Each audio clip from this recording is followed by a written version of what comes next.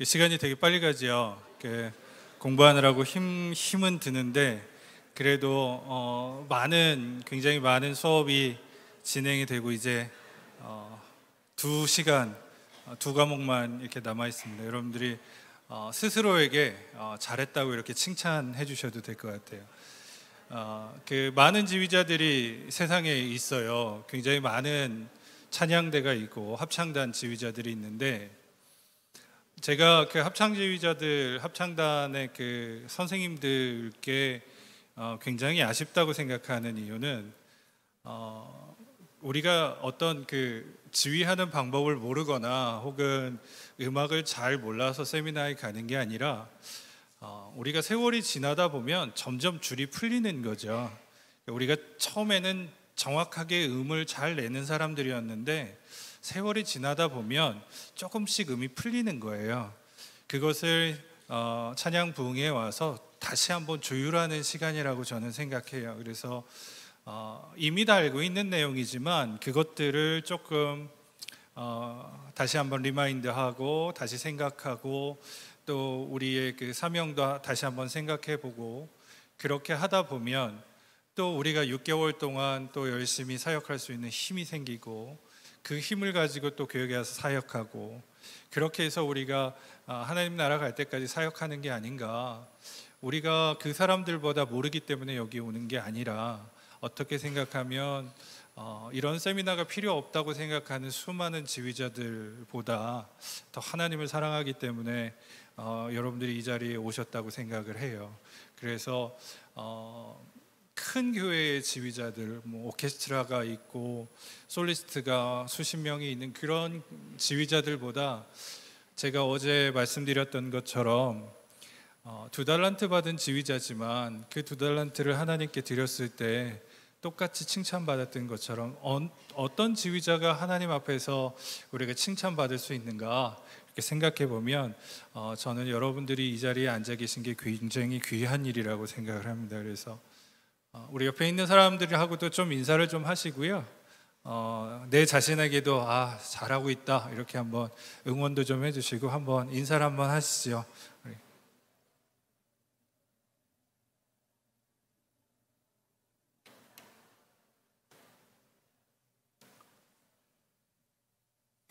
유빌라테 40집 reading session을 시작하겠습니다. 안녕하세요. 저는 유빌라테 음악 감독 서형일이고요. 만나뵙게 돼서 반갑습니다.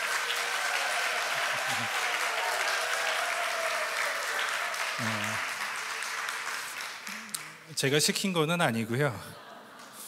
어, 이런 분위기를 기대했던 건 아닌데 어, 저는 그 찬양부흥회가 진행이 되면서 계속해서 무슨 생각을 하냐면 어, 저희 교회가 그 찬양을 한 주도 쉬어본 적이 없어요. 코로나가 어, 생긴 다음부터 어, 누군가가 와서 그 찬양의 자리에서 계속 노래를 하고 또 조금 어, 여유가 있을 때는 20명, 12명 뭐 이렇게 작은 수의 어, 찬양 대원들도 계속 와서 항상 찬양의 자리가 비어 있었던 적은 없어요. 그런데 그 어떤 때는 보면 어, 엘토가 전부 다 안 나오기도 하고 확진이 되셔서 그리고 어떤 주는 보면 어, 파트 구성도 잘 안 되고 그럴 때마다 무슨 생각을 했냐면 하나님께서 우리를 보실 때그 아, 그 어려운 환경 가운데서도 어, 찬양하는 그 모습 그것으로 이미 하나님이 찬양을 기뻐하지 않으셨을까 그런 생각을 제가 하면서 어, 3년 동안 어, 계속해서 이렇게 그 찬양을 드렸습니다. 마찬가지로 우리의 모습도 그럴 거라고 생각해요. 앞으로 코로나가 더 좋아질지 혹은 우리의 찬양의 환경이 더 나빠질지 우리는 알 수 없지만 어떠한 환경이 우리에게 다가오더라도 어, 그것에 어, 그것을 바라보지 않고 우리가 찬양하는 자리 그 자리에 있다는 것이 훨씬 더 중요한 것이라고 저는 생각을 해요. 그래서 아까 제가 뒤에서 이렇게 보면서 아, 예, 년에 비해서 참 많은 어, 분들이 못 오셨기는 하지만 그래도 제 생각보다 훨씬 많은 분들이 어, 자리를 참여를 해주셨고 또 이러한 시국에 우리가 모여서 어, 마스크를 끼고 있지만 또 어, 크게 더 크게 노래할 수는 없지만 그래도 함께 모여서 찬양하는 이것 자체가 귀하다 이런 생각을 했습니다. 그래서 어, 유빌라테 40집 reading session을 할 텐데요. 저는 이 시간을 무엇을 배우는 시간으로 생각하지 않았으면 좋겠다고 생각합니다. 제가 노래를 시작하기 전에 reading session을 하기 전에 악보에 어, 지휘자들 지휘자들의 악보에 필요한 것들에 대해서 제가 어, 그 여러분들 교재에 어, 담아뒀거든요. 그것만 잠깐 보고 어, 우리가 어, 두 시간 동안 계속해서 찬양하는 시간을 어, 갖도록 하겠습니다. 지휘자들이 악보를 받으면 처음에 해야 할 일이라고 제가 기록을 해 두었습니다. 저는 이것이 어, 합창 지휘자가 됐던 찬양대 지휘자가 됐던 반드시 해야 되는 일이라고 생각합니다. 여러분들은 어, 다음 주 찬양을 연습하기 전에 어떠한 것을 악보에다 마킹을 하고 계신지 제가 잘 모르겠어요. 그런데 저는 이렇게 합니다. 그래서 이 방법이 반드시 맞는 것은 아니지만 제가 하고 있는 방법이기 때문에 제가 여러분들께 소개를 해드리는 거예요. 저는 악보를 받으면 제일 처음 무엇을 하냐면 템포를 정하는 일을 합니다. 이 템포를 어, 여러 가지 tempo를 정하는데요. 템포는 기본적으로 플러스 마이너스 10 정도가 돼야 템포가 변한다고 느낍니다. 그래서 저는 템포를 10 어, 단위로 끊어서 어, 이렇게 한 번씩 그 저 알맞은 템포를 정하기 위해서 노력을 합니다. 그러니까 제일 처음에 여러분들 악보를 받으면 템포 마킹을 하는 것이 제일 중요합니다. 두 번째는 이 곡의 무드를 정하는 겁니다. 무드. 이 곡이 슬픈지, 기쁜지, 축제인지 이런 것들을 정해서 거기에 보면 expression word라고 써놨는데 내가 어떻게 이 노래를 표현하고 싶은지 거기에다가 적어 놓습니다.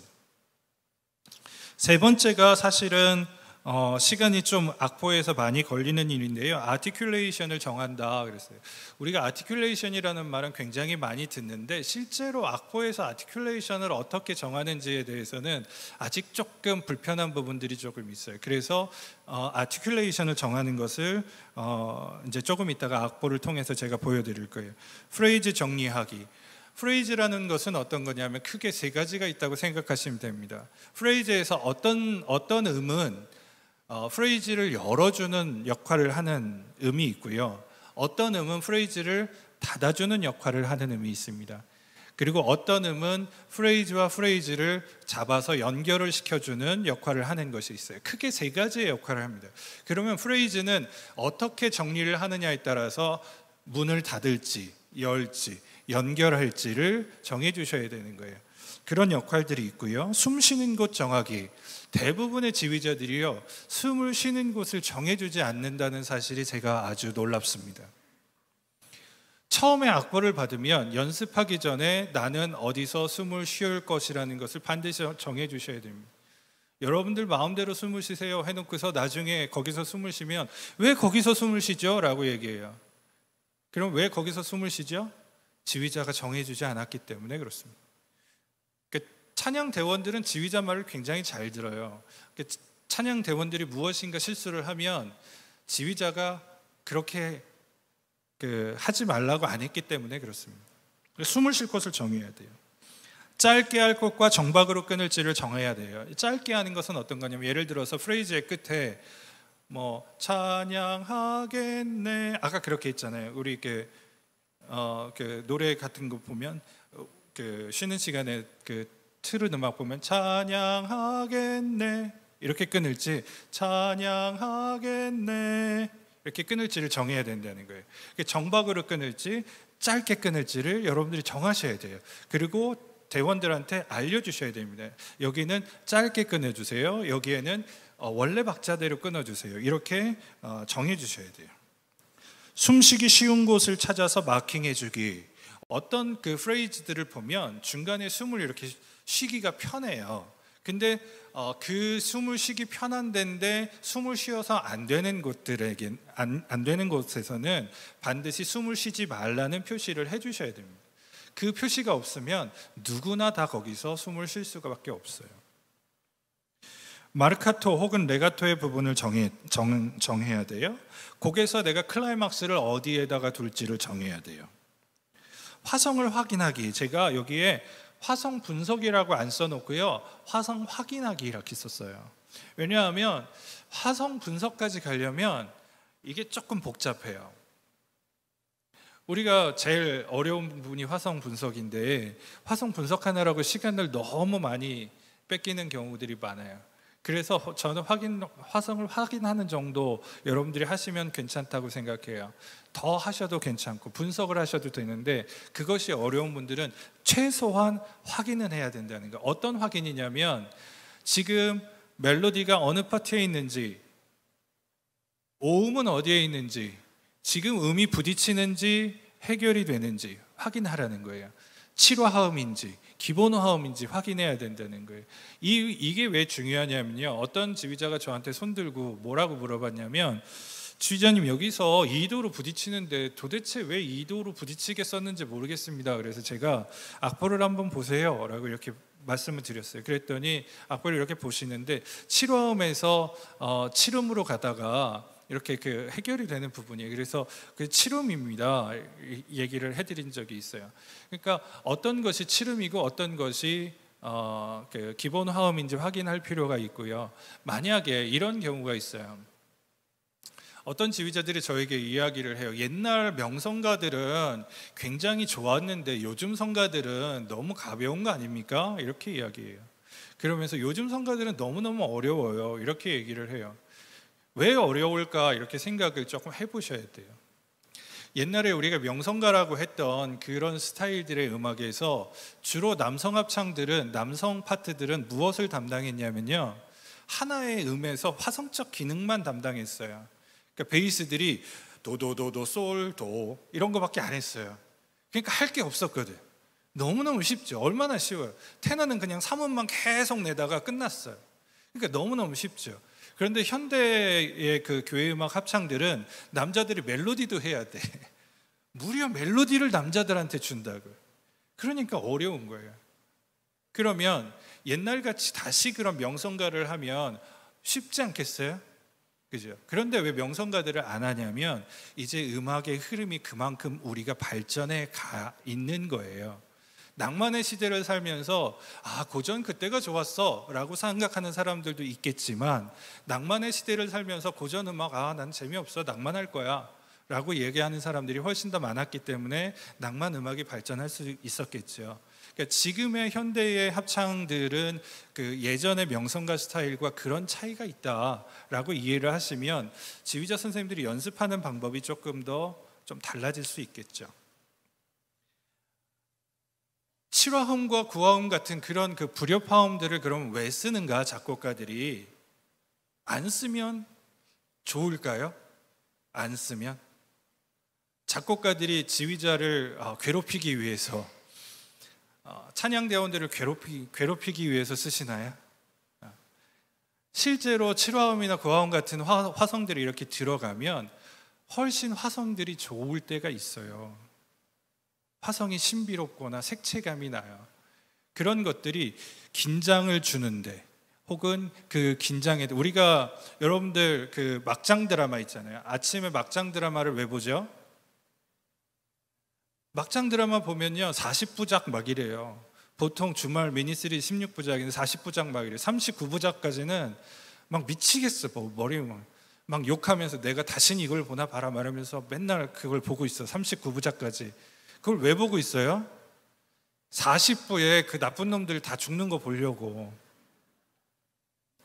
그것 때문에 보는 거잖아요. 40부에 나쁜 사람들 다 망하는 거 보려고 39부까지 참는 거라고. 음악에서 불협은 긴장을 주는 거예요. 긴장을 왜 줘요? 긴장했다가 해결될 때의 그 느낌을 갖기 위해서 그래요. 음악에서의 긴장을 나쁜 것으로만 이렇게 인식하지 않으셨으면 좋겠어요. 그 나머지는 여러분들이 제가 하면서 좀 볼게요. PPT 하나만 보여주시겠어요? 제가 갑자기 목사님한테 부탁을 드려가지고 어, 제가 그 지금 지금 제가 가지고 있는 악보를 제가 살짝 보여드렸어요. 보시면 제가 빨간색으로 템포를 마킹을 했어요. 어, 보통 어, 작곡가는 74에서 78을 얘기했는데요. 저는 조금 더 느리게 66 정도로 하려고 생각을 해요. 그리고 작곡가의 인포메이션을 제가 넣었어요. 작곡가 어, 최지은 선생님 유빌라테 전임 작곡가고요. 물론 제가 개인적으로 잘 알고 있기 때문에 뭐 이런 뭐 여러 가지들을 안 썼어요. 작곡가에 대해서 어, 찬양대원들에게 간단하게 설명해 줄 수 있을 정도로 인포메이션을 주시는 게 좋아요. 거기에 보시면 오마디에 평생에 보시면 이렇게 어, 제가 형광펜처럼 잘 안 보이실 테지만 어, 마킹을 해놨어요. 제가 강조하고 싶은 단어들은 이렇게 그 형광펜으로 마킹을 해놓습니다. 저는 이 노래를 할 때 평생 이 단어를 어, 마킹을 하고 싶었어요. 모든 이것을 마킹을 하고 싶었어요. 그래서 평생 밑에다가 제가 뭐라고 표시를 해놨냐면 피읍. 그래서 평생을 평생 할 수 있도록. 그 다음에 주님을 따라 살 수 있는가에 보시면 숨 쉴 수 있도록 숨표를 해놨죠. 제가 성가대원들한테 이렇게 얘기할 거예요. 평생 주님을 따라 살 수 있는가 하고 숨 쉬세요. 이렇게 이야기할 거예요. 모든 삶을 통하여 주 섬기려는가 하고 숨 쉽니다. 이렇게 이야기를 해요. 제가 동그라미 1번 쳐놓은 거 보이세요? 1번. 이 그 평생 주님을 따라는 최지은 작곡가가 가사도 썼는데요. 자신에게 물어보는 질문으로 시작해요. 첫 번째 질문. 평생 주님을 따라 살 수 있는가? 두 번째 질문. 모든 삶을 통하여 주를 섬기려는가? 세 번째 질문. 주의 부르심 따라 평생 주님을 따를 수 있나? 물어봐요. 세상 만족 버리고 모든 삶을 주님께 맡길 수 있나? 네 번째 질문이에요. 거기에 계속 제가 어, 강조하고 싶은 단어들에는 제가 이렇게 어, 표시를 해놨어요. 오직 주의 나라와 다이나믹 표시해놨죠. 숨 쉬는 거, 의를 구하며 살 수 있는가. 다섯 번째 질문이에요. 여기에서 할렐루야, 할렐루야는요, 하나님을 찬양하자, 하나님을 찬양하자 그런 의미가 아니에요. 나에게 다섯 가지의 질문을 했는데 내가 그것에 대해서 확신을 가지고 있는지 아직 잘 모르겠어요. 그래서 여기에서 나오는 할렐루야는 주님을 찬양하라 이런 의미보다는 주님 내가 이렇게 주님 앞에 나아가기를 원하니까 주여 도와주세요라고 의미하는 것이 맞아요. 거기 제가 보면 첫 리을을 약하게 이렇게 했어요. 왜냐하면 성가대원들은 제가 예측할 때 할렐루야를 할렐루야라고 발음하기가 쉬워요. 할렐루야. 그래서 첫 리을을 빼면 할렐루야가 돼요. 자, 저, 저, 저 보세요. 저 보셔도 돼요. 할렐루야 아니고 할렐루야. 제가 첫 번째 리을을 어떻게 했어요? 약화시켰어요. 이것을 그 독일어에서 그 모음 약화라고 하는 것으로 우리가 그 이야기를 하는데요. 모음 약화까지는 아니지만 모음이 아니기 때문에 리을을 하나 약화시켜서 할렐루야라고 나눠지지 않도록 하는 거예요. 그 다음에 보면요. 36마디에서 E 플랫에서 F 메이저로 전조가 돼요. 그 앞에는 자기에게 질문을 하는 것인데 38마디부터는 기도를 하고 있어요. 이 기도는 조가 바뀌면서 어떤 기도냐면 굉장히 확신에 차 있는 기도예요. 자기 십자가 지고 주를 따르며 영원한 것을 조차 살게 하소서. 제가 이렇게 동그라미 쳐놨죠. 어제 어떤 분이 저희 스텝에게 가르쳐 주셨어요. 그래서 제가 사전을 찾아봤더니 그게 맞더라고요. 발음이 조금 그래서 제가 그냥 여기다 써놨어요. 지읒을 두 개 하면 무엇을 쫓아가다 혹은 쫓아내자 할 때 그 쫓아라고 그 사전에서 이야기를 하고 어, 지읒을 하나를 쓰면 우리가 그것을 따르는 것을 이야기를 한대요. 그래서 어, 틀렸어요 가사가. 어, 이렇게 지읒을 하나로만 이렇게 됩니다. 나의 삶 주의 것이니 할 때 그 나에 보면 액센트가 표시가 되어 있어요. 42마디에. 그쵸? 근데 제가 거기에도 형광펜을 해놨어요. 거기에다 적어놓진 않았지만 나의 삶 하기, 하고 싶은 마음이 있어서 제가 거기에다가 강조를 해놨어요. 그 다음에 45마디 영광 받으소서 보면 영광 받으소서에서 서가 어, 원래 원래 점 2분은 표인데 저는 이 부분을 클라이막스처럼 만들고 싶었어요. 그래서 영광 받으소 서에 점 2분은 표를 점을 빼면 2분은 표가 두 박자가 되죠. 그리고 한, 남는 한 박자를 4분 4분 쉼표를 넣어서 오직 주님만 영광 받으소서 이렇게 했어요. 거기 한번 해 볼까요? 44마디부터 칠게요. 셋. 에 오직 주님만 영광 받으소 하나 둘 컷 할렐루 이렇게 들어갔어요. 그, 그 표시를 해놓은 거예요. 제가 거기에다 뭐라고 썼냐면 주님이 영광 받으려면 어떻게 해야 할까라고 생각을 했어요. 제가 이것을 왜 써놨냐면 찬양 대원들에게 줄말이기 때문에 그래요. 내 영광을 버려야 된다. 할렐루야 할 때 마찬가지로 가사에 그렇게 써놨어요. 끝까지 주를 따르내야 할 때 밑에 끝에다가 윽 이렇게 써놨죠. 윽은 무성으로 준비하는 거예요. 끝까지. 따르다라는 말은 뭐냐면요. 주도권을 내어준다는 말이에요. 따라간다는 것은 내가 앞서가는 것이 아니라 뒤따라가는 것을 의미해요. 내가 하나님께서 가시는 예수님께서 가신 내 주님이 가신 그 뒤를 따라가는 것. 그 주님이 어느 쪽으로 가든 그 뒤를 따라가는 것을 의미해요. 그래서 이것은 어떤 거냐면 철저하게 내 자아를 내려놓겠다라는 헌신과 다짐을 의미하는 거예요. 그래서 여기도 마찬가지예요. 평생 주님을 따라가 악보에 보면 두 박자로 기록이 되어 있죠. 2분 음표로 되어 있어요. 여러분들 악보를 보세요. 여러분들 악보 14페이지 보시면 돼요. 여러분들 악보 14페이지에 보시면 주님을 따라가 2분 음표로 되어 있는데 제가 4분 음표로 바꿨어요. 그 하얀 머리를 염색을 해서 까만 머리로 바꾸니까 4분 음표가 한 박자가 남죠. 그것을 거기에다가 끊었어요. 그래서 이렇게 되었어요. 54마디부터 한번 해볼까요? 54마디부터 셋, 넷,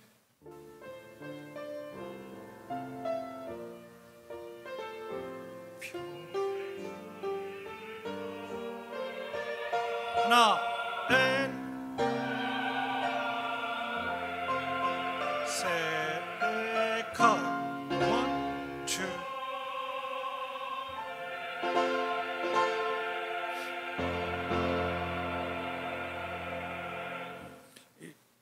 약간의 그 어, 악보를 변형해서 강조를 해야 될 부분과 그렇지 않은 부분을 나눴어요. 이것이 아티큘레이션을 맞추는 부분이에요. 그래서 여러분들이 연습에 들어가기 전에 여러분들의 악보가 이렇게 준비가 되면 이 준비된 상태에서 리허설을 시작하셔야 돼요. 그래야 여러분들이 시간을 낭비하지 않고 연습을 할 수 있습니다. 우리가 첫 곡은 한번 다 같이 불러보겠습니다.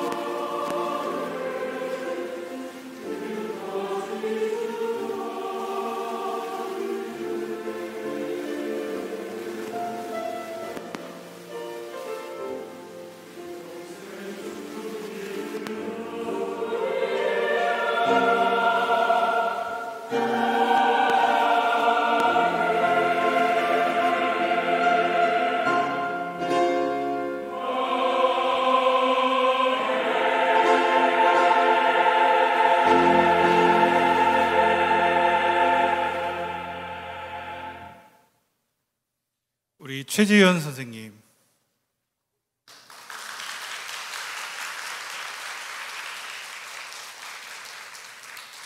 칸타타도 쓰시고 오늘 오늘 최지은의 날이 최지은의 날로 선포를 우리 아까 민유리 선생님 가장 아름다운 일 불러봤지만 그래도 아쉬우니까 조금 더 한번 해볼게요. 선생님 6마디부터 갈까요? 6.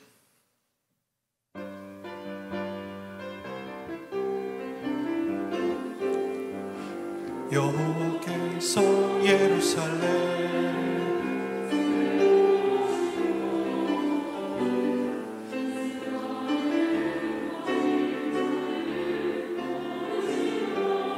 남자들 같이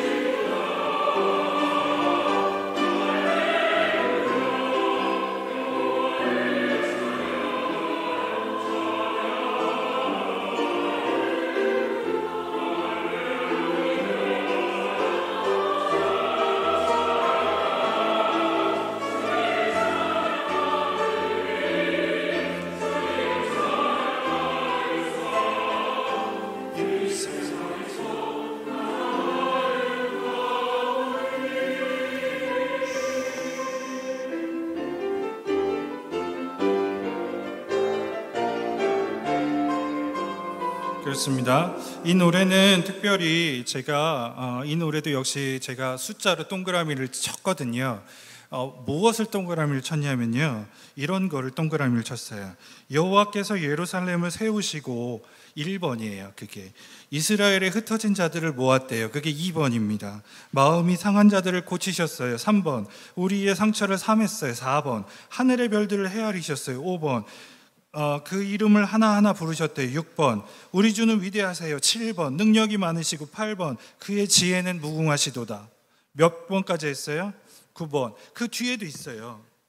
이게 어떤 거냐면 어떤 거냐면 이 사람이 생각하고 있는 이 시편 기자가 생각하고 있는 찬양의 이유들이에요.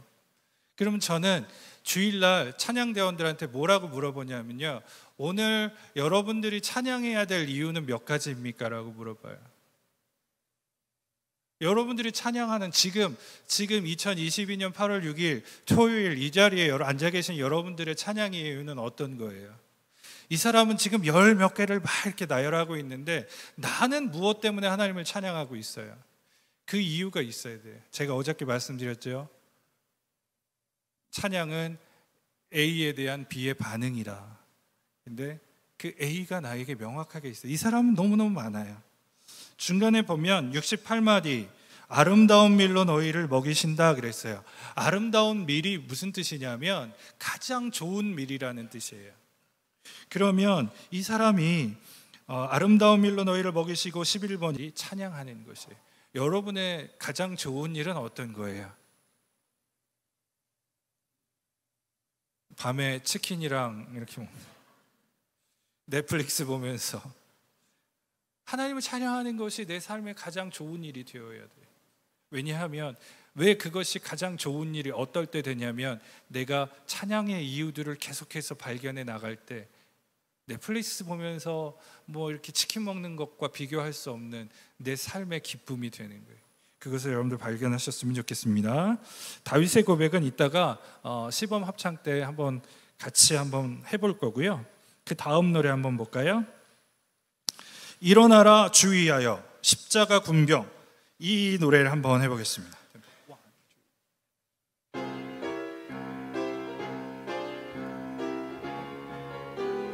하나, 둘, 일어나라.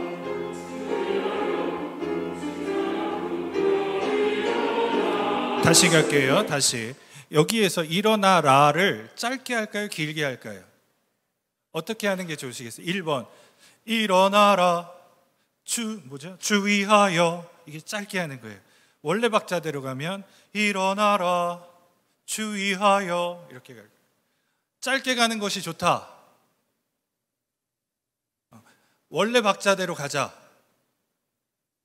어, 짧게 가는 것이 조금 더 많았어요. 짧게 가겠습니다. 어, 짧게 우리 다 같이 맞춰서 짧게.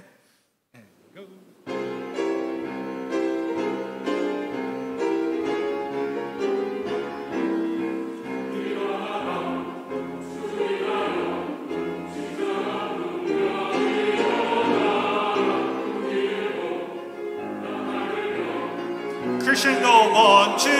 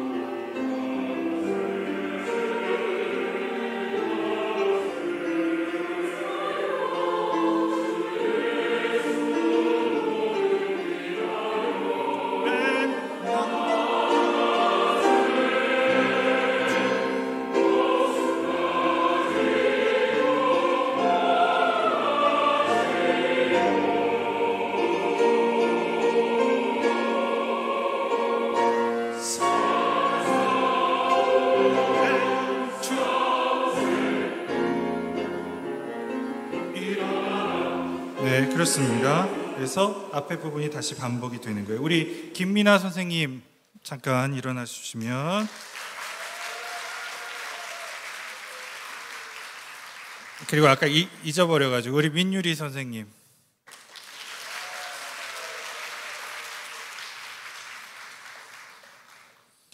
예수님을 믿으면 할 거거든요. 우리 최종현 선생님 미리 우리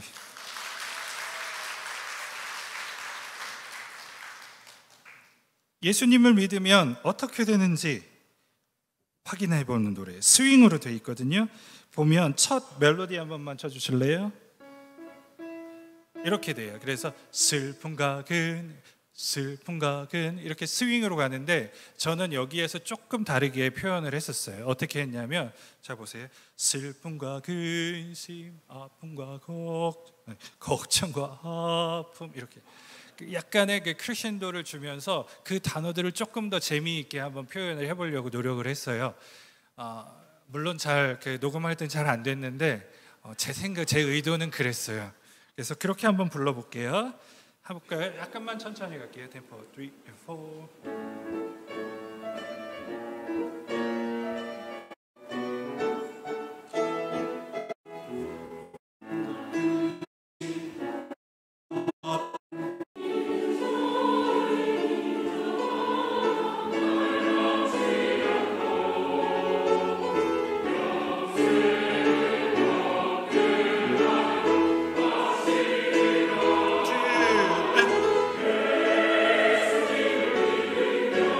여기서 하나만 하나만 더 표현을 해볼게요. 그 하심이 라는 라는 어떤 역할을 해주는 그 친구 같아요. 프레이즈에서 연결해주는 친구죠. 그래서 거기에서 이제 크리스천도가 되는데 그 다음에 예수님을 믿으면은 지금처럼 부르면 조금 재미가 없어요. 그래서 예수님을 믿으면 하지 않고 얘를 크리스천도 해볼게요. 예수님을 믿으면 영원한 이해되셨죠? 한번 그렇게 해볼게요. 영생을 얻게 하려 하심이라 33마디 템포 뒤 아, 영생을 크리스천도 G, 크리스천도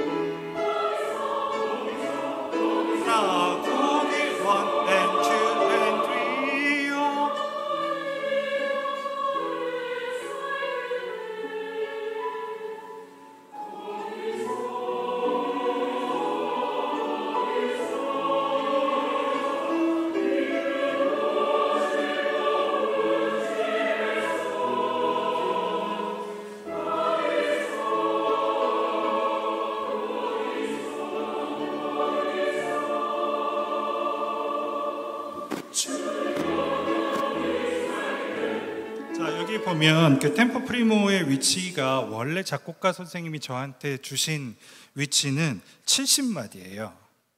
근데 제가 어, 작곡가 선생님한테 어, 템포 프리모 위치를 한 마디 먼저 뺐어요. 이 차이를 여러분들한테 보여드릴게요. 두 개가 틀린 건 아니. 여러분들이 뒤로 빼셔도 된다고 제가 말씀드린 거예요. 66마디 피크, 67마디 픽업부터 템포 프리모 악보에 나와 있는 대로 한번 불러볼게요. 거기서 템포 하나, 둘, 셋. 거기서 템포 프리모 영원히 영원히 살겠네. 이렇게 가는 방법이 하나가 있어요. 이 악보대로 이제 원래 작곡가 선생님이 생각했던 그 어, 템포 프리모의 위치로 한번 가볼게요. 67마디 픽업 다시 한번 하나, 둘, 셋.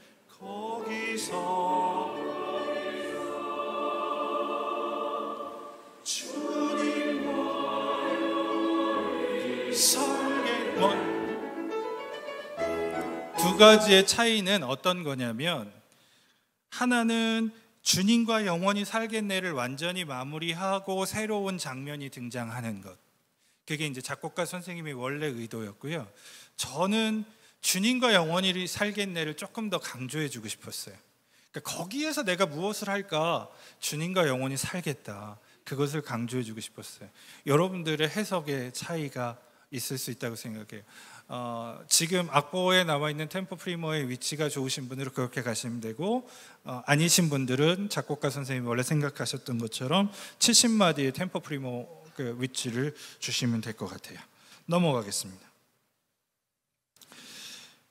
아름다우신 주님 혹시 그 방송실에서 이 음악을 좀 틀어주실 수 있을까요? 아름다우신 주님 같이 한번 불러볼게요. 한번 녹, 녹음된 음악을 들으면서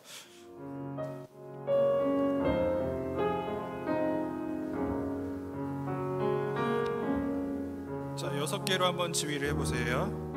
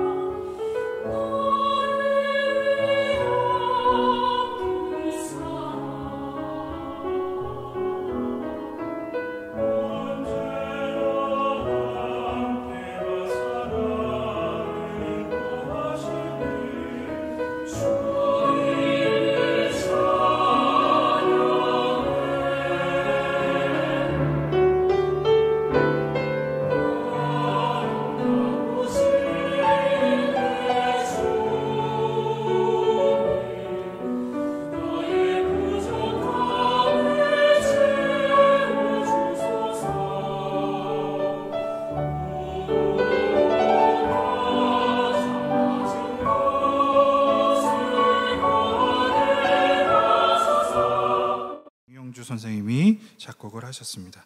해볼까요?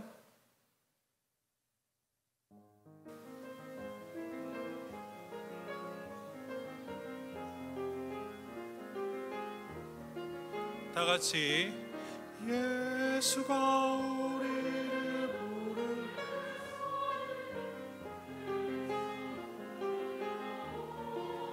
원, 투, 앤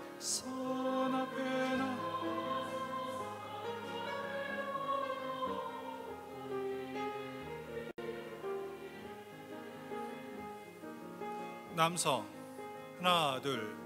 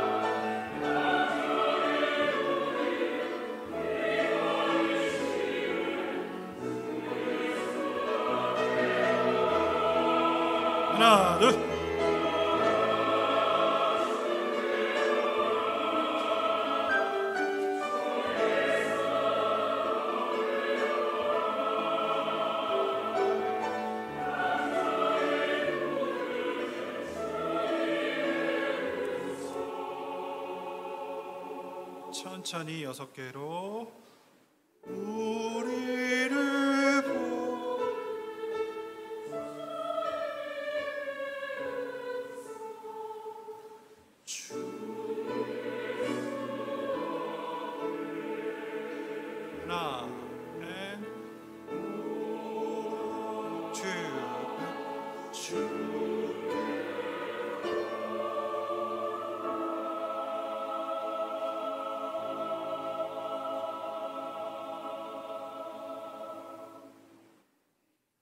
넘어가 볼까요? 높으신 주 찬양. 이런 형태의 찬양이 우리가 이제 예전에 불렀던 그런 익숙한 형태의 찬양의 그 모습을 가지고 있는데요.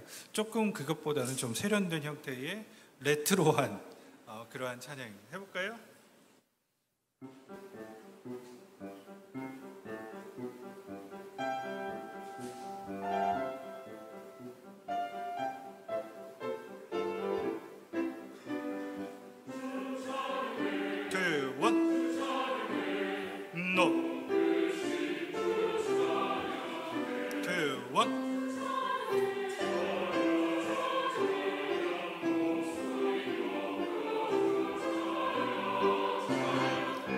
부분에서 아티큘레이션을 미리 준비해 놓으시면 좋은데 저는 어떻게 했냐면요.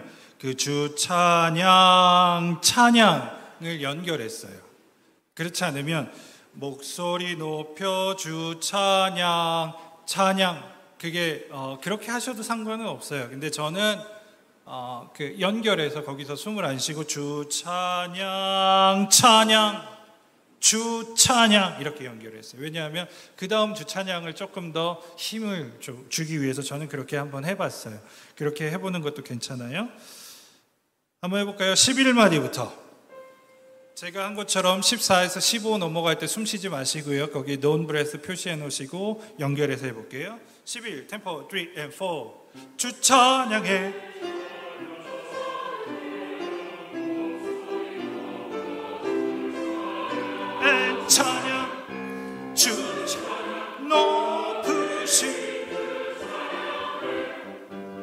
주찬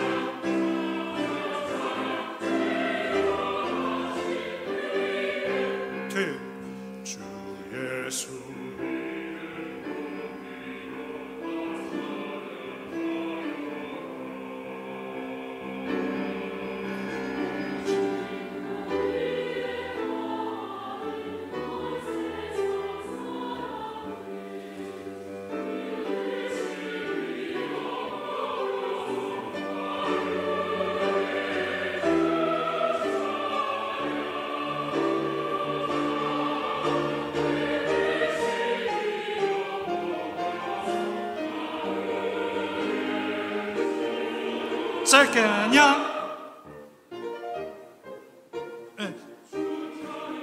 two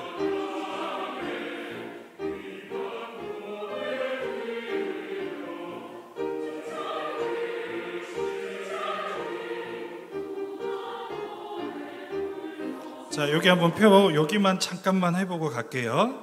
어, 귀한 법에 그 앞에서부터 보시면 어, 38마디에서 전조되는 부분에서 와 전조가 되게 자연스럽게 된다 이런 느낌을 가지셔야 돼요.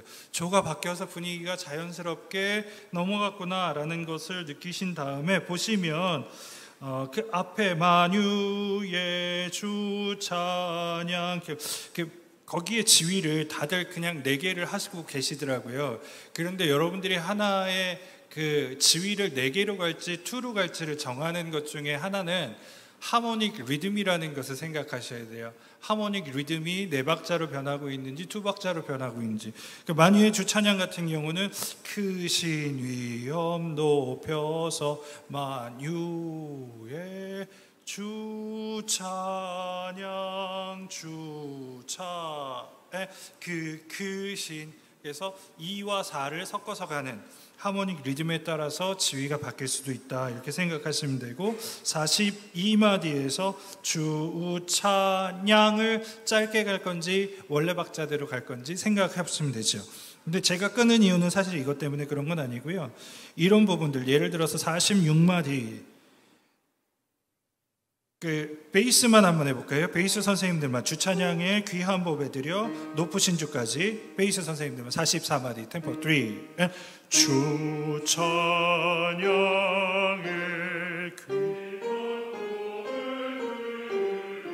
이 부분을 하나 둘 하나 and 이런 느낌으로 한번 불러보면 어떨까 싶어요. 그래서 굉장히 하나씩 큰 걸음을 걷는 것처럼 아주 크게 그 다음에 테너 선생님들은 그것과 그좀 대비되게 주 찬양해 주 찬양해 그래서 남자 베이스 선생님들은 one, two, 원 가고 테너 선생님들은 아주 가볍게.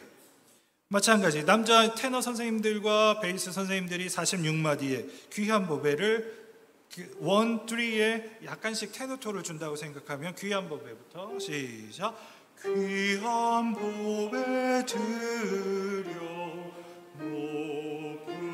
높으신 주 이런 느낌으로 가시고요. 그 다음에 여성 소프라노 보배를 아주 가볍게 그것과 또 대비되게 보세요. 보배를 감동이 있어요. 그러니까 그런 캐릭터들을 하나하나의 동기에다가 다 한번 넣어 보세요. 그럼 음악이 달라져요. 44마디부터 한번 해볼까요? 마찬가지로 그 무궁한 노래 이제 소프라노하고 엘터하고 40, 50마디 갈 때는 마찬가지 아까 남성이 했던 것처럼 그렇게 가시고 어, 남성이 들어갈 때는 오 주를 찬양 주 찬양 가볍게 가는 거예요. 이해하셨죠? 한번 가볼게요. 44마디 템포 3 아. 어. 소프라노 포배를 들려 주 찬양 무궁한 노래 오 주를 찬양 주 찬양 뒤와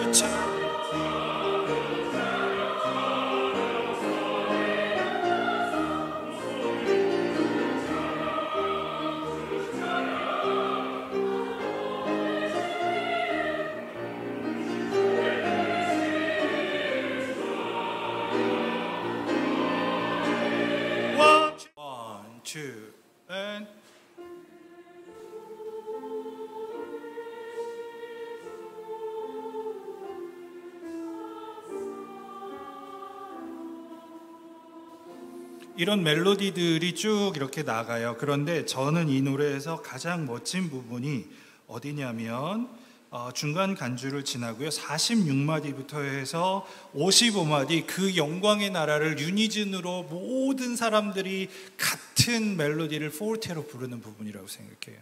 그거를 한번 불러볼까요? 46마디부터 들어갑니다. 이전보다 더 F 음정 템포 1, 2, and 이전보 여섯 이전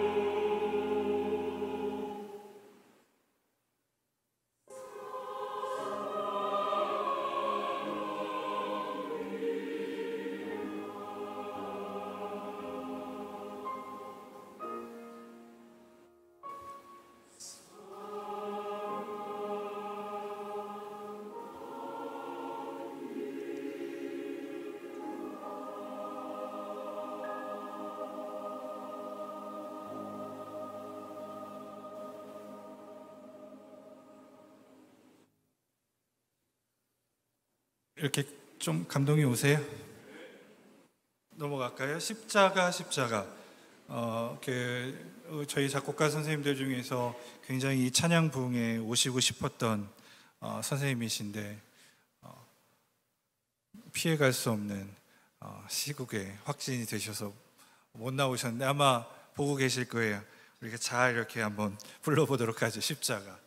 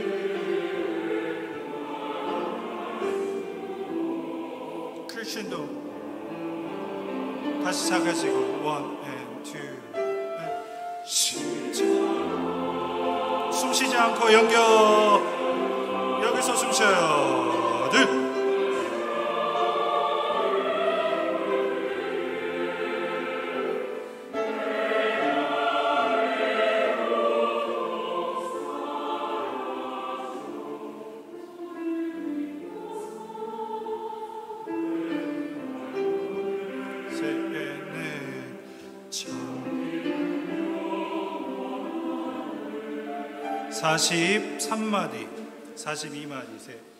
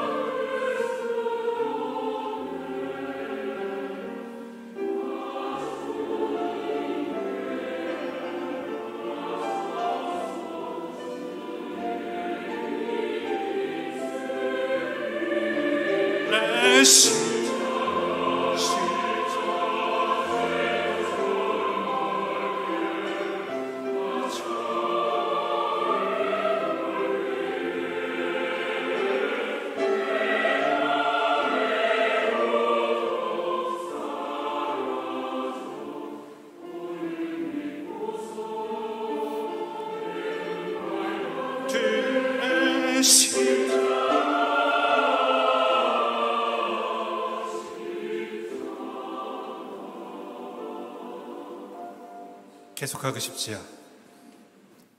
여러분들 성가대에서 하세요. 아, 못 견디겠어. 저희 선생님이 맨날 가끔 이런 장난을 좀 치세요. 막 결정적인 순간에 끊고 연습을 그냥 끝내시고 혼자 가버리셨어요. 우리 함께 걸어가리. 찬송가 가사를 어, 그 새로운 멜로디에 입혔어요. 한번 가볼까요? 어, 6마디부터 갈까요, 선생님?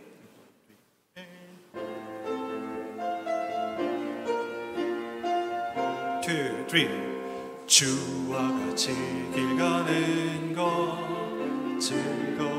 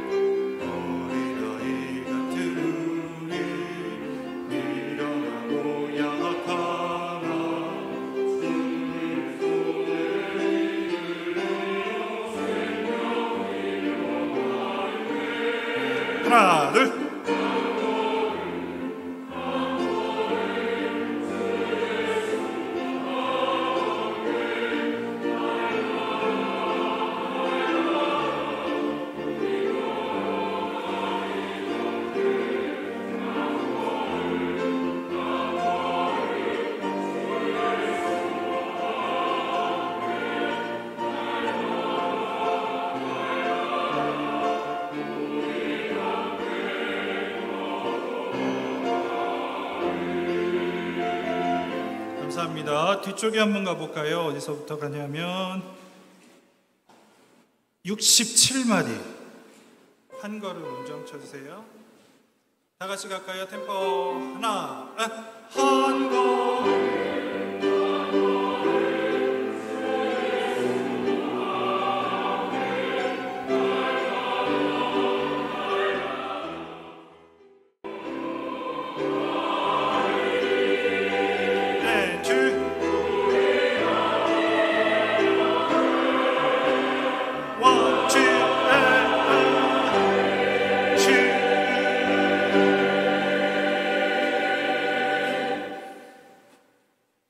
두려워하지 말라라는 곡입니다.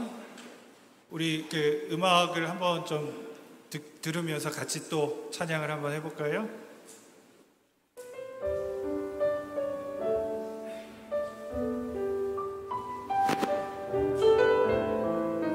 저는 처음에 여성 솔로를 그 알토가 솔로를 했어요.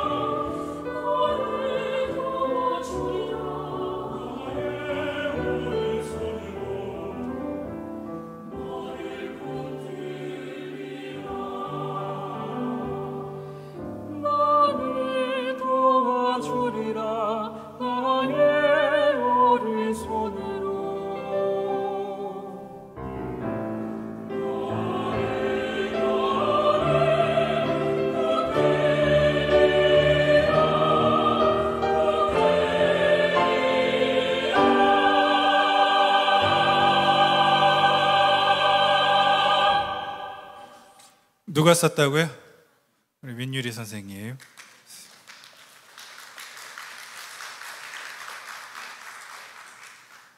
이 곡을 쓴다는 게 쉬운 일은 아니에요. 어, 저는 제가 언젠가 여러분들한테 말씀드렸지만 여러분들이 여러분들의 목사님을 위해서 기도하는 것처럼 어, 작곡가들을 위해서 기도해 주셔야 돼요. 작곡가의 작곡가의 삶이 은혜로 가득 찰 때 아, 좋은 곡이 나와요.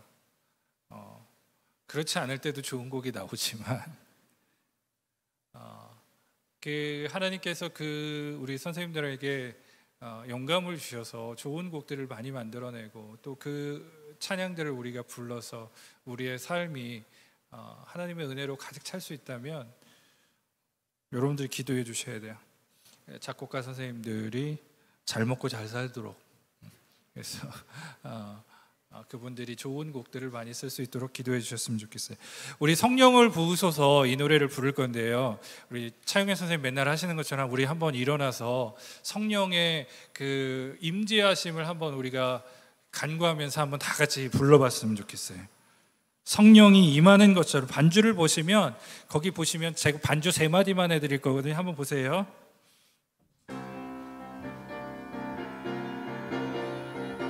그래서 저 멀리서 저 멀리서 성령이 우리에게 임하는 것과 같이 그렇게 반주가 표현이 됐어요. 그래서 처음에 주님의 성령할 때 우리가 노래하는 destination, destination이라고 얘기하는데 우리가 가야 되는 것은 어디 어디냐면 성령이에요. 그래서 주님의 성령 이렇게 불러요. 이해하셨죠? 한번 그렇게 해 볼까요?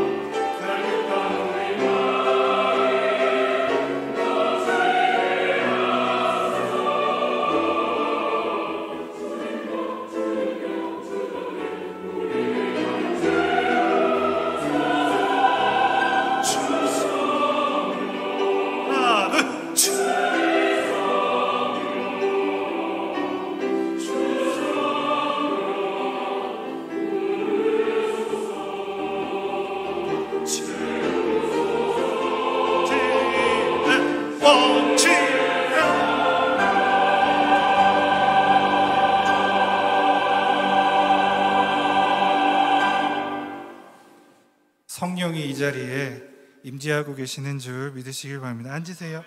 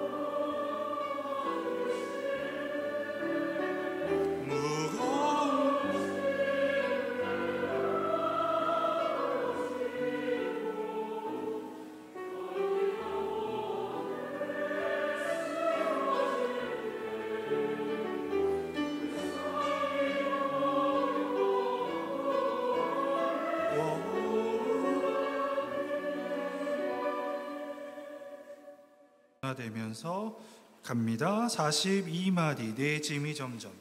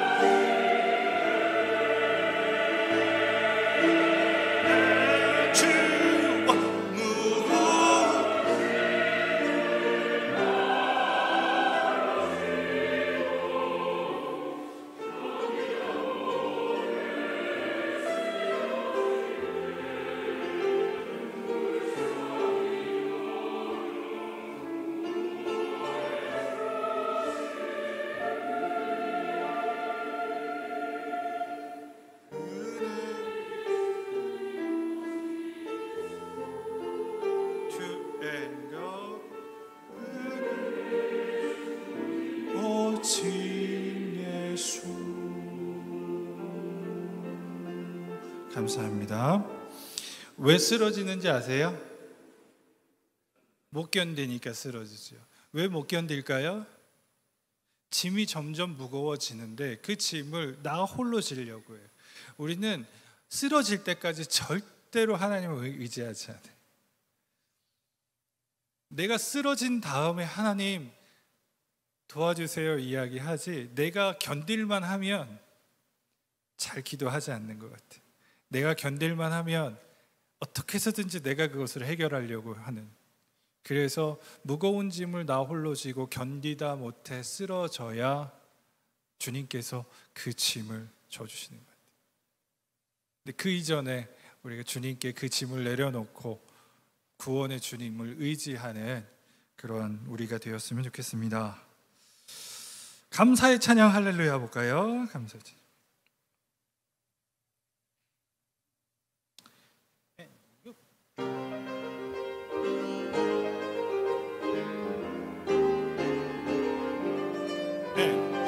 여호와께 그는 선하시며 인자시며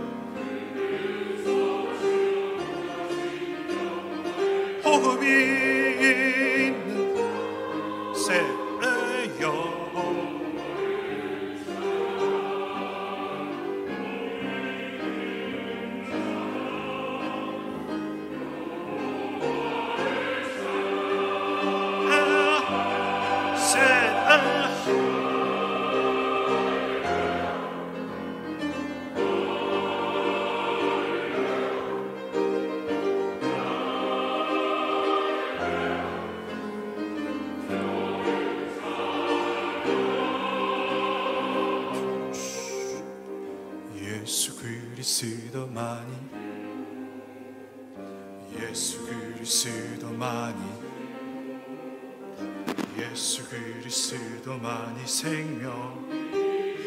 예수님 외에는 다른 구원이 없 forte 예수 그리스도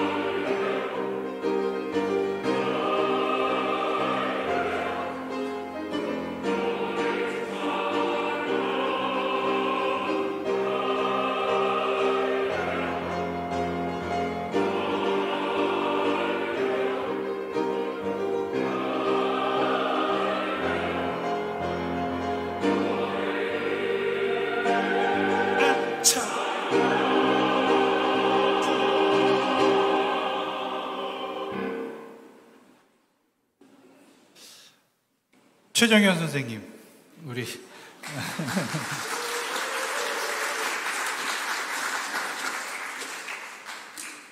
우리 최정현 선생님은 국악을 국악 작곡을 전공을 하셨어요. 그래서 서양 음악도 잘 쓰시고 국악도 아주 잘 쓰시는 일을 행하는 여호와를 쓰신 남성 작곡가 백하슬기 선생님이십니다.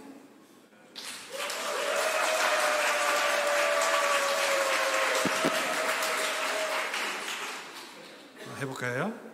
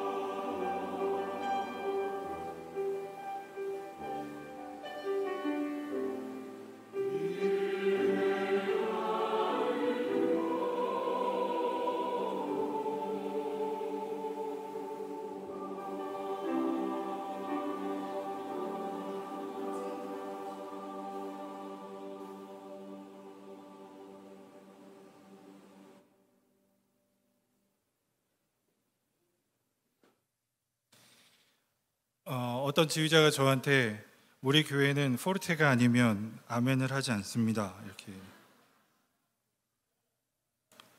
저는 우리 교회가 어, 감사한 것은 지휘자가 내려오기 전까지 시간을 다 기다려 주세요, 목사님.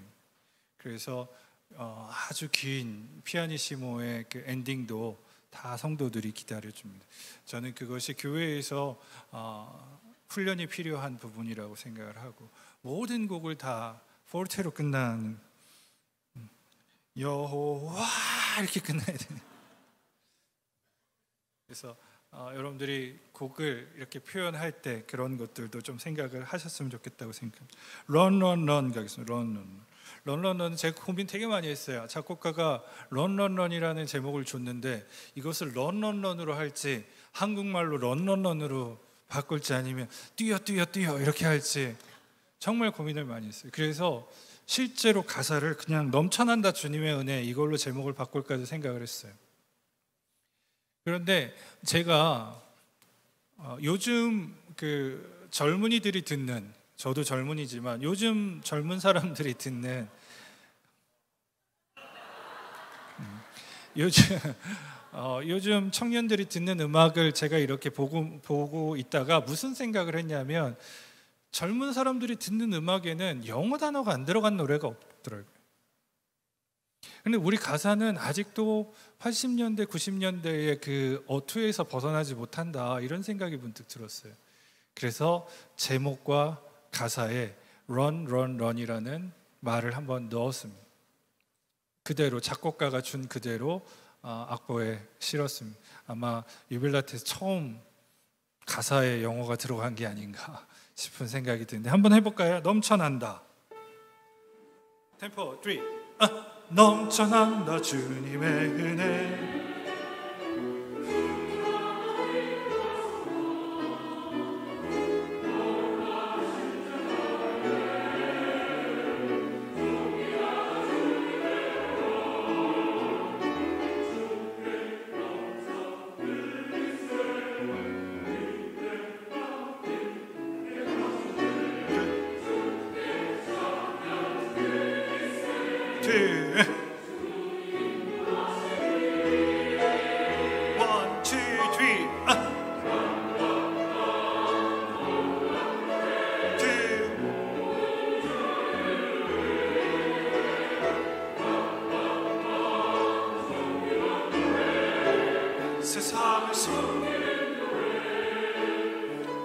이렇게 해서 노래가 반복이 됩니다. 런런런이라는 그 역동하는 그 교회의 모습이 좀 노래에서 좀 보이세요?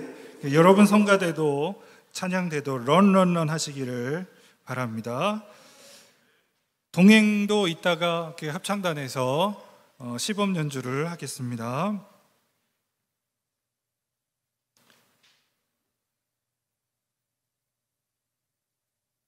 그 다음 곡 한번 볼게요. 빛으로 나아가자. 7마디부터 갑니다. 네. 네. 2, 3. 보이지 않는 그곳에 있어도 작은 떨림까지도 나의 모든 것을 알고 계신 주님께 나아가자 주 그늘진 어두운 곳에서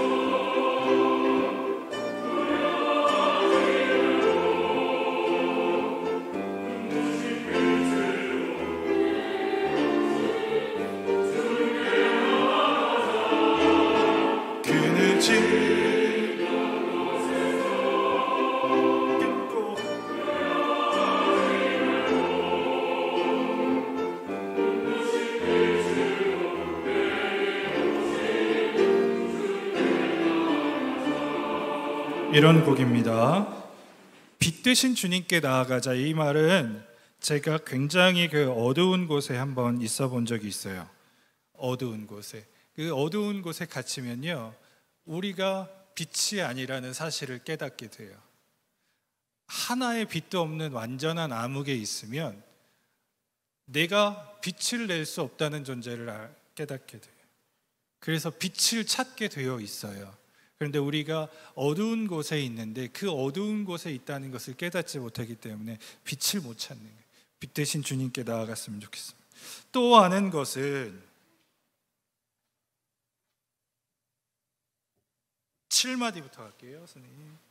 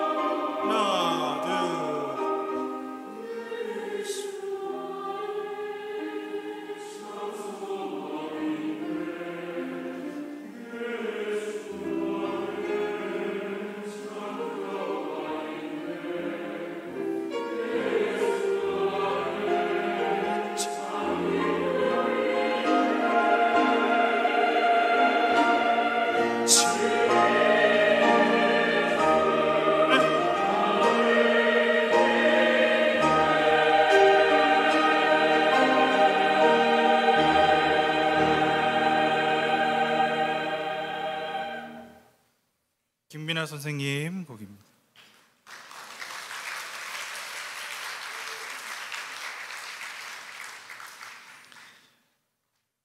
지금까지 지내온 것은 주의 크신 은혜라 조시영 선생님 곡인데요. 어, 조시영 선생님은 아시는 분들은 아시겠지만 올해 초에 어, 그 급성 혈액암에 걸리셨어요. 그래서 어, 조시영 선생님 몇 살이지? 서른 살인가요? 스물아홉, 서른한 살? 어, 서른한 살 되신 젊은 작곡가 선생님이신데 어, 이제 항암 치료는 다 이렇게 그 긴 항암 치료는 끝났고요. 어, 마지막으로 이제 골수 이식을 앞두고 있는데 지금 이제 골수가 맞는 분들을 이렇게 찾고 있습니다. 그래서 마지막 치료의 단계에 있는데 여러분들 생각나실 때 좀 기도해 주시고 건강을 잘 회복해서 어, 좋은 곡들을 계속해서 쓸 수 있도록 젊은 작곡가가 다시 건강하게 어, 회복될 수 있도록 여러분들 기도해 주시길 바랍니다. 이 곡은 어려운 곡은 아닌데요. 한 군데 보면 어, 주의 은혜라 들어가는 부분에서 소프라노가 음정을 잡기가 조금 까다로울 수가 있어요. 그래서 보시면 어, 반주부에서 B 플랫에서 내려와서 G로 가는 그 화성을 잘 잡으시면 소프라노가 음정 잡기가 어렵지 않거든요. 거기 한번 볼까요? 26마디부터 한번 쳐서 소프라노 음정 한번 주세요.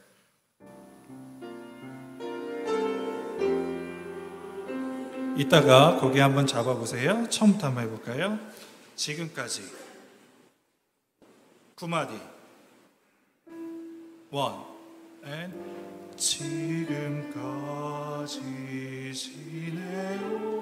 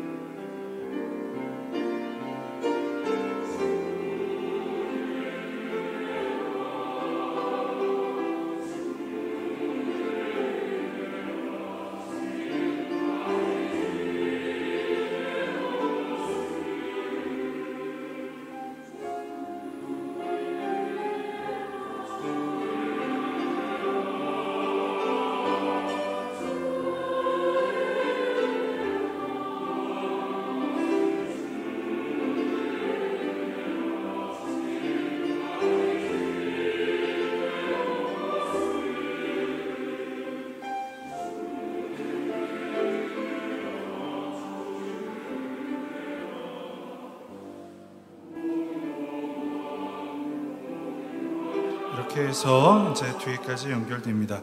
그래서 여러분들이 이 노래의 가사처럼 지금까지 지내온 것이 주의 은혜라 고백할 수 있도록 우리의 삶도 또 조시영 선생님의 삶도 하나님께서 주관하시기를 그렇게 기도해 주시기를 부탁을 드립니다.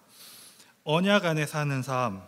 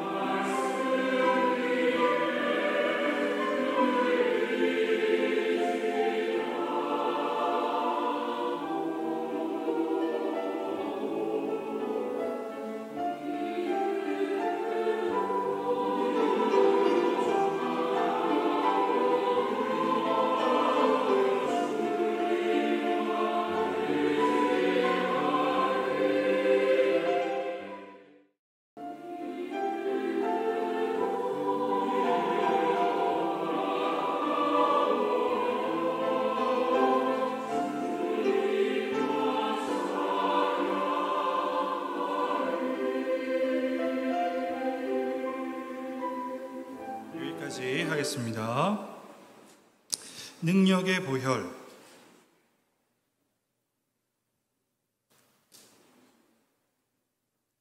사마디부터 할까요? 셋, 넷, 두, 하나, 둘.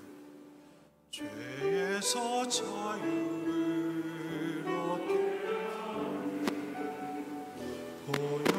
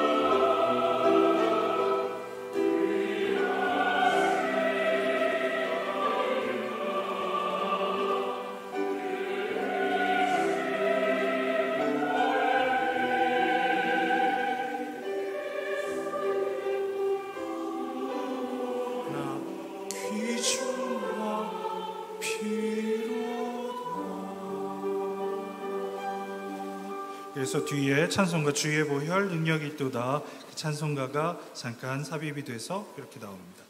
믿음의 반석 위에 연주하겠습니다. 그 다음 곡 빈들의 바른 풀 같이 아마 마지막 곡이 될 것 같은데 첫 음 가볼까요? 템포 하나 둘셋 빈들의 마른 시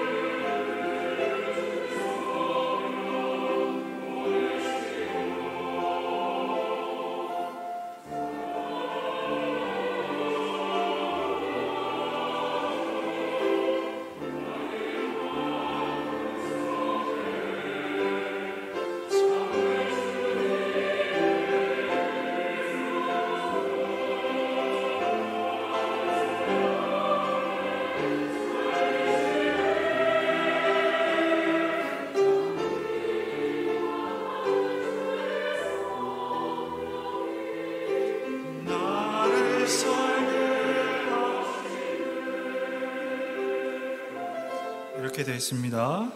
그 다음 곡을 잠깐 보면요. 아, 하늘에 기록된 이름 잠깐 멜로디만 살짝 한번 볼게요. 나의 이름 시작. 나의 이름 이곳에서는 지나가는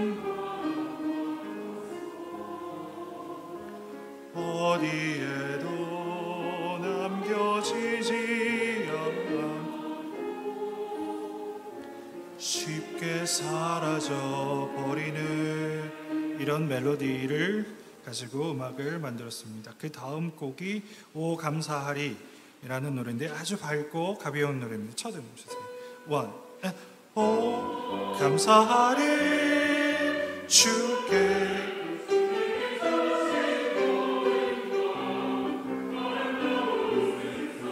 주의 사랑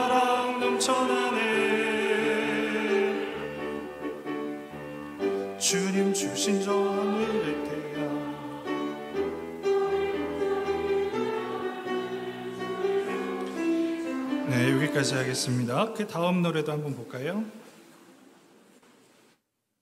예수님 이야기 성탄절 노래인데요 아, 그 남성과 여성의 솔로가 이렇게 반복되면서 어, 하는 그런 성탄절 노래입니다. 이 노래는 어, 녹음할 때 어떤 그 분께서 어, 이 40집에서 자기는 제일 좋은 좋아하는 노래라고 이렇게 그 저한테 말씀해 주셔서 reading session에서는 안 하겠습니다. 궁금하도록 그 다음에 풍랑 속에서도 사실은 굉장히 드라마틱한 노래인데 어, 지금 이제 시간이 없어서 부활 승전가까지 세 곡을 우리가 못 봤거든요. 어, 제가 여러분들께 어, 한 가지 소식을 안내를 해드리겠습니다. 어, 유빌라테 TV를 보시면 우리 김민아 선생님, 이승훈 선생님 그리고 조태진 선생님께서 어, 우리는 코로나가 시작이 될 때 어, 제가 생각할 때 코로나 기간 동안에 아 우리 공부나 하자 찬양대 원들하고 공부나 하자 그래서 시창과 음악 이론과 가창 이렇게 세 과목의 어, 그 컨텐츠가 유빌라테 TV에 있습니다. 잘 안 보시더라고요. 그런데 어, 시창 우리 이승훈 선생님이 시창 이렇게 보시면 지휘자들이 필요한 시창 공부도 할 수 있고 김민아 선생님이 음악 이론 과목을 보시면 다 하실 수 있어요. 근데 제가 원래는 지휘를 어, 제가 어, 찍기로 했었는데 제가 1강을 찍고 난 다음에 제 얼굴을 보고서 이건 하지 말아야 되겠다 이렇게 생각을 했습니다. 그래서 3년간 고민을 하다가 어, 아무리 봐도 저는 제 얼굴을 그 화면에서 보는 게 익숙치가 않아 가지고 어, 좀 어렵더라고요. 근데 어, 여러분들에게 40집을 어, 매주 한 곡씩 좀 해설을 좀 해드려야 되겠다라는 생각을 조금 했고요.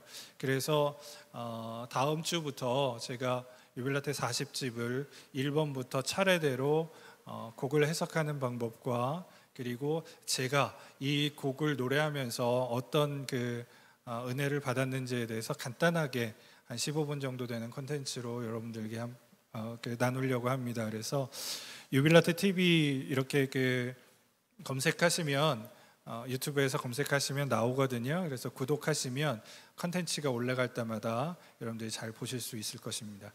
어, 우리 협창단 선생님들 나오실 텐데요. 우리 세곡 아까 건너뛴 세곡 마지막에 그 어, 교회 창립 기념주일 곡은 우리 이승훈 선생님께서 작곡을 하셨는데 40집에 한 곡 들어가 있으셔서 소개를 못했어요. 우리 이승훈 선생님